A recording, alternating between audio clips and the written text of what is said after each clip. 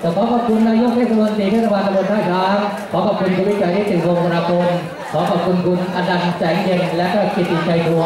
ขอขอบคุณกองเชียร์สองทีมนะครับเดินทางกลับด้วยก็สวัสดีภาพครับ